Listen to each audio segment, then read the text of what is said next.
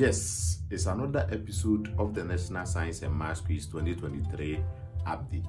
In this video, I'm taking you straight to Osei the Ashanti region of the Republic of Ghana, and I'm presenting to you 26 senior high schools from the Ashanti region qualify for the National Science and Maths Quiz 2023.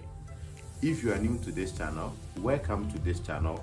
Please subscribe to iTanet if you want more of these kind of videos and don't forget to like and share my videos. Let me also hear you in the comment box below if your school made the list. Now let's look at the 26 senior high schools from the Ashanti region qualify for the National Science and Maths Quiz 2023.